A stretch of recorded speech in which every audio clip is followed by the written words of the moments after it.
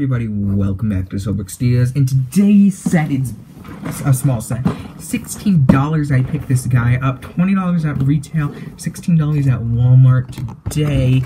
This is set 60150, it's ages 5 to 12, it's the Pizza Van.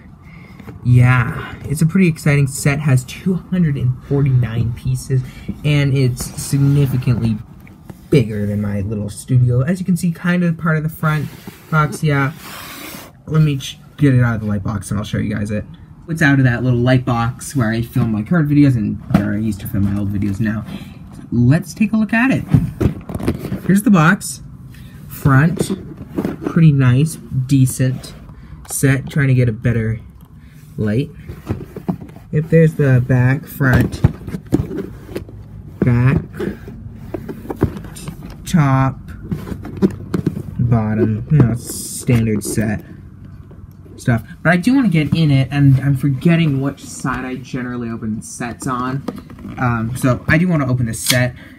I'm going to open it with a knife today. Sorry about that. I just want to get the camera down a little lower.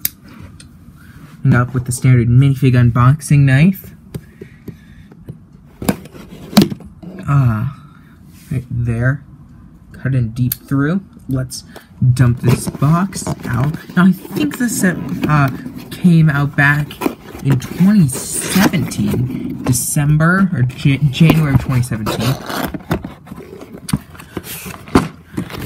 Let's see, full box, and now it retails for $16 at uh, my Walmart. At Walmart, and I think it's also $16 at Target too. One of my instruction manuals in this set got completely destroyed. That's a bummer. But two instruction manuals for such a small, dinky set. It's uh, a little, little surprising for a $20 set to get two instruction manuals.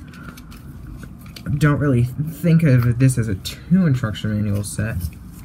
So, yeah, I'm gonna go build this up, hang it up and then we can take a look at it. We are back in my studio. It feels good. I got the entire pizza van built up now.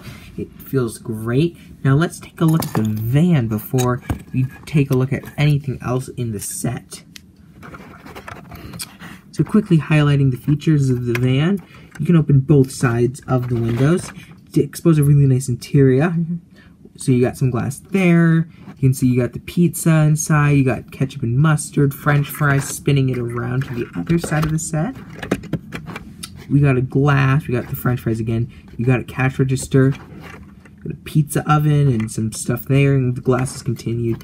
Closing it up, you can see it says City Pizza and has the hours there. Got the menu, $3 for a slice of pizza and $2 for a salad. Cheap salad there. In the front it says City Pizza. Got the hours over here, as I previously said, so you can see what when he opens and when he's closed. So Monday, Friday, and stuff like that. And then you can open this up. Now, I don't feel like the cab's built up as nicely as it could be. You can see that it feels very empty. Maybe a little about that. My camera just got cut out. As I was saying, it just feels a little empty. Maybe you could have used a chair. I don't know. But I do really like it. It's nice. The front. I like the back. I really like the maroon accents. Feels like a nice set there. You get this nice table, one slice, so that's pretty decent. Got the moped right here, so that's a sticker for the pizza. We've seen this moped before, nothing, nothing special. Also got a helmet. Here is the chef figure, looking fancy right there. Love the torso. It's symbolizing that he's maybe a little overweight with that, has a little stomach. I don't really tell, maybe that's wrinkles in the shirt. Nice back wrinkle. There's a little bit of the scarf showing from the front.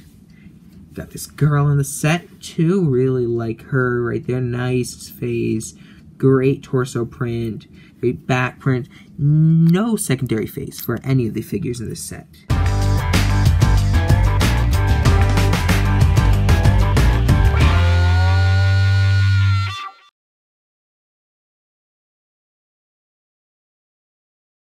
I really love the City Pizza van. But there are some goods and bads of it, which we need to discuss right now. So there's a lot of stickers in this set for such a small set. I feel like they could have used a little more printing. In using some existing prints, they have done, but they could have just used a little more printing, more than just like some pizza stuff and a few of the small stuff in here.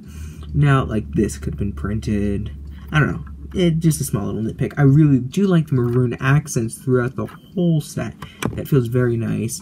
And I feel like the minifigures could have used secondary faces, and that's not like that hard. It's kind of like a standard these days, but given that the set came back out in January of 2017, who knows if they were truly doing secondary faces back then, like on every single set.